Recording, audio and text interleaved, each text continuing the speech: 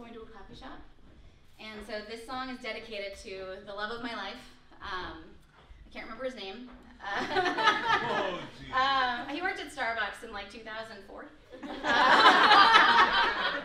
I wrote, I, wrote, this song for him. My life is really good. Um, awesome.